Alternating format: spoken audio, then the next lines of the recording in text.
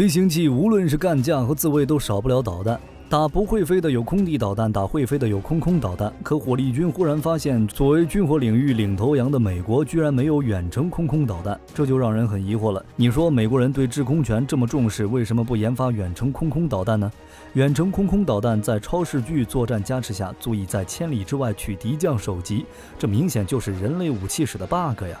不过有趣的是，这款堪称 bug 级别的武器，不光是美国没有，世界各国对远程空空导弹领域都提不起兴趣，是不愿意还是技术达不到？不过在火力军仔细研究后发现，我们还是太年轻了呀。今天火力军就跟大家好好唠唠，为什么大家都不愿意做远程空空导弹。首先，火力军先给大家提出个问题：你们说导弹是精准度更重要，还是射程更重要？许多小伙伴会说，小孩子才做选择，我全部都要。不过，对于导弹来说，拥有了足够的射程，必然就要损失一定的精准度，这一点不难思考。我们仔细去考虑这个问题：当我拿枪指着你，你会发现距离枪越远，你就有充足的时间进行规避。换句话说，子弹在出膛的一刹那到达五米位置，或许只要零点零一秒。但是要到达百米位置，就需要零点一或者一秒。这要是反应速度快的人，说不准都做了好几个战术规避动作了。当然，上面只是打个比方。不过，对于远程空空导弹来说，道理是差不多的。我们从五代机的弹药配比上来看。会发现一个非常有趣的事，拿美军的五代机 F-22 举例，F-22 在隐身状态下可以携带六发 AIM-120 中程空空导弹以及两发格斗导弹。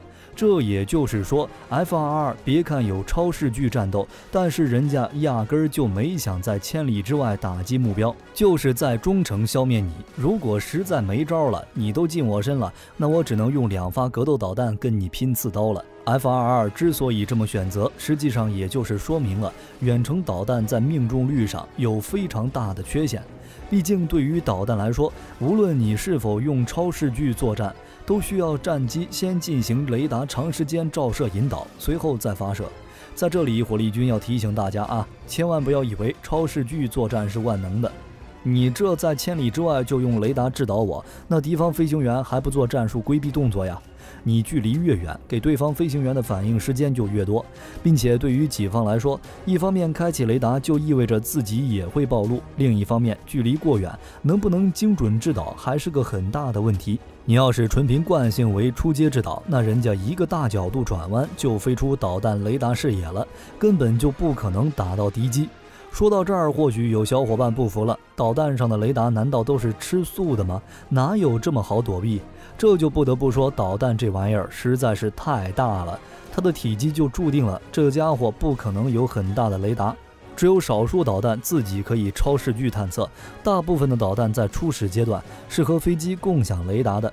你要是勉强发射远程空空导弹，别看美军 F-22 一般都是亚音速巡航，说躲过去也就躲过去了。就算不说最先进的五代机，远程空空导弹充其量也就是打打敌人的预警机这些比较笨重的高价值目标。对于高速移动目标，实在是鞭长莫及。当然，这也引发这样一个疑问：如果我们解决了远程空空导弹的精准度问题，是不是就能让它成为战场骄子呢？实际上，即使解决了远程导弹的精准度问题，也不能弥补它本身重量过重带来的缺陷。刚刚火力军说过，目前美国最先进的五代机 F 二二在隐身状态下，也不过携带六发中程空空导弹以及两发格斗导弹。，F 三五更加离谱，不开野蛮状态下，也只能携带四发导弹。这么可怜的载弹量，让他们去装备远程导弹。实在是不现实。毕竟我们去做一款远程空空导弹，那么无论怎么制造，它在射程上都必须要大于两百公里，甚至更高。那么弹体燃料相对也要加注，否则根本达不到高射程的目的。所以它的弹重一定不低。然而 AIM 幺二零中程空空导弹重量也不过一百五十七公斤。F 二二以及 F 三五也只能携带六枚和四枚。如果弹体过重，远程空空导弹一旦为了追求射程放弃重量，怕是直接就给战机拖累死。并且，就算美军不顾一切给这玩意儿装上去了，不牺牲隐身性能的前提下，怕是整个 F 二二的弹仓里最多容纳一到两发。两发远程空空导弹，说实话，在空战当中还真不够看的。万一不能击中目标，敌机通过雷达发现你的位置了，那就是撵着你乱窜。你还有什么反击的手段？这对于夺取制空权来说，绝对是致命的缺陷。重量如此之大，就意味着它必然不可能成为空军的重要武器。换句话说，无论是从精准度上还是重量上来看，远程空空导弹并不适合空军装备，并且袭击的目标也不会是主要的高机动空中目标。从这点上来说，远程空空导弹对于致力抢夺制空权的美军是非常鸡肋的一款武器。那么，这款武器真的就没有研发的必要了吗？火力军思索了很久，认为远距离空空导弹的发展是必要的。我们从美国的空空导弹发展经历来看，当年美国并不是放弃了远程空空导弹研究，而是研究过程中发生了偏差。冷战开始后，美国就偷偷研制了 AIM-47 空空导弹，其射程就已经达到了二百一十三公里。同时，美国采用远程截击机和 AIM-47 空空导弹相结合，来实现截击苏联的远程轰炸机。解除苏联轰炸机对美国本土的威胁。那从这个角度上来说，美国当时的截击机搭配的 AIM-47 空空导弹，已经算是一种非常畸形的远程空空导弹雏形。但是在任务角度来说，这个组合确实不错。所以尝到了甜头的美国，甚至要把 AIM-47 空空导弹配备上小型核弹头，以此来扩大导弹对苏军轰炸机的单次杀伤效率。根据这个计划，美国研发了 YF-12A 三倍音速高空截击机，并且在实验当中，YF-12A 截击机发射了十三枚空空导弹，十二枚精准命中目标。这就意味着，美国 YF-12A 可以在两万两千八百六十米高空，以三倍音速的飞行速度，发射带有核弹头的空空导弹，精准打击苏联来袭的战机。这让美国非常的骄傲，毕竟能如此针对苏联的，也只有美国一家。不过可惜的是，这款武器被淘汰的也有点太快了。当时苏联研发了洲际导弹，陆基已经基本具备了远程核打击能力，用不着远程轰炸机携带核弹轰炸美国本土。美国的截击机和空空导弹组合彻底没了用武之地。此时，美国对于远程空空导弹的研究已经处于停滞阶段，因此苏联轰炸机没必要对美国进行战略核威胁。不过，空军放弃了，海军可没放弃啊。二十世纪六七十年代，苏联海军开始向外扩张。当时，苏美军备竞赛中，苏联研发了大量远程反舰导弹以及中程轰炸机，这对美国航母舰队的威胁是极大的。此时的苏联已经完全具备了可以对美国航母编队进行饱和火力攻击。美国人也很无奈呀，本来我横行于世界，靠的就是我的航母，这就是我的双腿。苏联不讲武德，想给我的双腿打断，这我能答应吗？为了应对苏联在未来可能的威胁，美国只能尽快整合舰载和空基防空力量。此时的美国需要一款射程远的武器，不过此时的美国技能树再一次点歪了，发展了 AIM-54 不死鸟空空导弹。这是一款中程导弹，但是射程却并不短，直接针对苏联反舰导弹以及中程轰炸机的中坚力量。不过，由于美国过于追求射程，导致这款导弹非常重。但是美国根本就不嫌弃，反正我有 F-14 熊猫战斗机可以搭载这款导弹，并且就算这款导弹很重，那也没关系啊，反正你的轰炸机带的弹药比我还重，飞行速度也慢，我打你的轰炸机总比高机动歼击机要好打得多吧。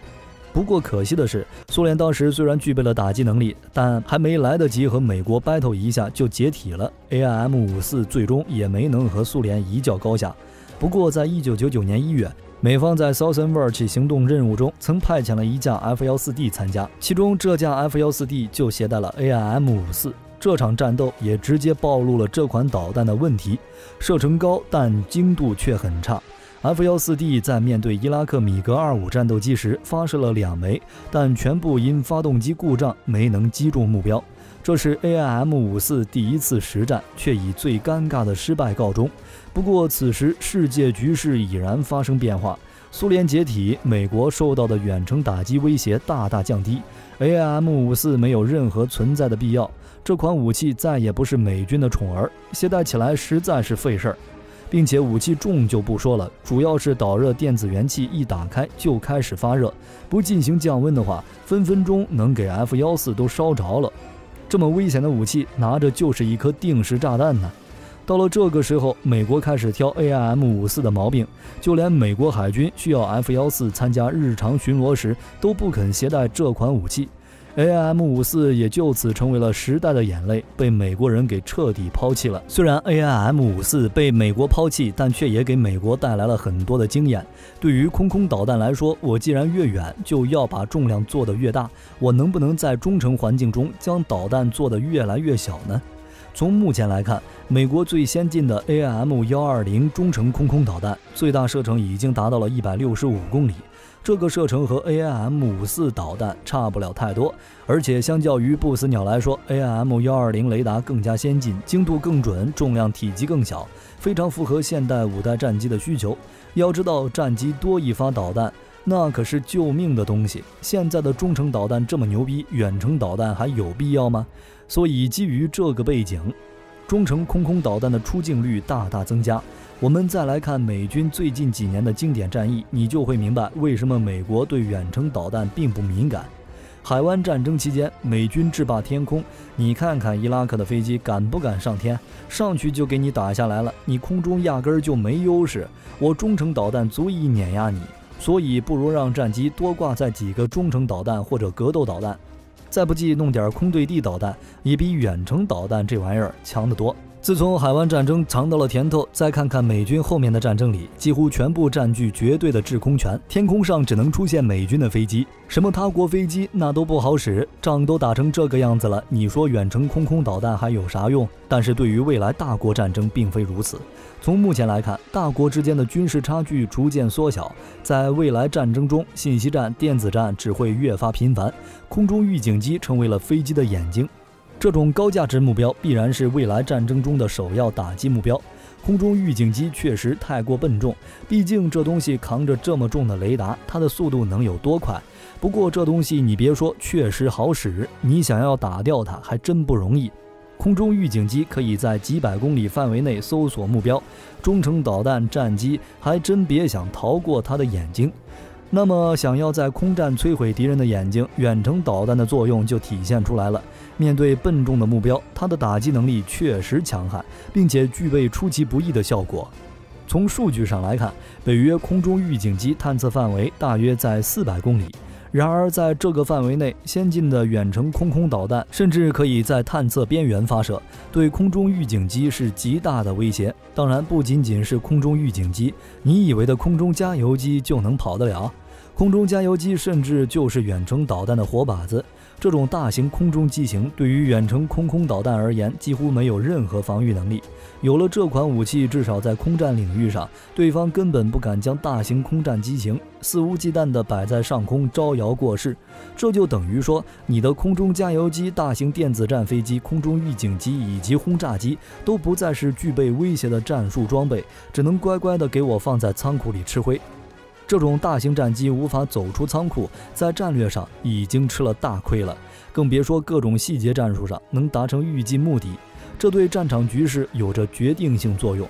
所以你别看美国当时曾经对远程导弹嗤之以鼻，现在也没能逃过真香定律呀。美国空军看到了在未来大国战争中，远程空空导弹对空中目标的威胁实在太大，已然开始研发新型远程空空导弹。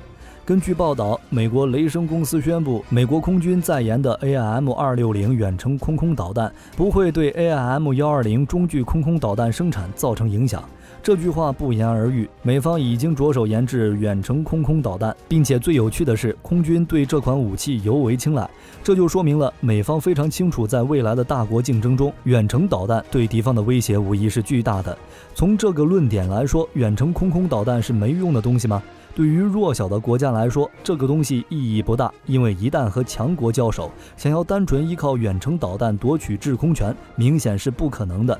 并且面对电子战、信息战等信息化作战前提下，你的远程空空导弹能否上天还是个未知数。但是对于强国来说，这个东西实在是太厉害了。那么这个东西做起来很难吗？这东西说实话做起来并不是很难。我们来看美国的导弹发展，就能发现，美国近些年虽然没有研制远程导弹，但是他们就没有能力研制了吗？如果看官老爷这么想，那就太浅了。对于美国来说，单纯的追求远程导弹远射，在技术上没什么不能实现的。毕竟固体推进剂技术对于美国来说早已成熟，光是追求远射，美国完全可以给 AIM 幺二零加一段助推，直接让 AIM 幺二零上到极高的射程。但是美国之所以没有研究，极大的原因还是在雷达上，在雷达问题上，如果不能进行突破性进展，那么再远的空空导弹还是不具备威胁。所以，美国新一代远程导弹在雷达上绝对会出现突破性进展，甚至超越目前所有导弹配备的雷达技术。毕竟，美国的电子系统技术成熟度有多么夸张，大家还是有目共睹的。另外，远程导弹除了要解决雷达技术外，还要解决轻量化问题。因此，美国要研制的 AIM 二六零远程导弹必然要将远程导弹缩小化。让其可以融入隐身战机之中，这样美国在空战中必然占据极大的优势。无论是 F 三五还是 F 二二，它们的隐身性能配上远程导弹，战斗力绝对是无比强悍的。这一点是俄罗斯战机无法具备的，毕竟苏五七在隐身性上实在太差。虽然机动能力强，但是如果真的被美军锁定，它也难逃一死。由此可见，美国这一超前行为可能会再次刷新空中作战优势。而美国能这么快将 AIM 二六零立项，很明显，这些年美国还真没闲着，积累了很多关键的技术，就等着这一刻爆发。不过说到这儿，火力军有一个猜想：你们说未来的远程空空导弹载体会不会在无人机身上呢？仔细想想这个问题，霍利军认为这不是不可能的。无人机最大的优势就是无人驾驶，来保障飞行员安全，并且可千万别小看无人机，它的实际升限可以达到两万零五千米，这个高度来说，打击空中目标绝对没有一点问题。不过这里会存在一个问题。空中无人机远程控制系统还不够成熟。不过，按照目前无人机发展趋势，无人机远程控制系统在未来绝对不是无人机的发展瓶颈。这也就是说，在未来，无人机成为远程导弹的主要载体是绝对可以的，并且当弹药打完后，无人机也可以成为最后一发导弹，直接朝敌人的高价值目标撞过去。火力军有理由相信，无人机携带远程导弹的作用一定会比五代机要高很多。这家伙在未来一定是空战利器。那么，各位小伙伴们，你们认为远程空空导弹在未来战争是否会是主要空战武器？未来在无人机当中是否也会配备远程空空导弹来打击高价值目标呢？欢迎评论区讨论一下。我是火力军，咱们下期再见。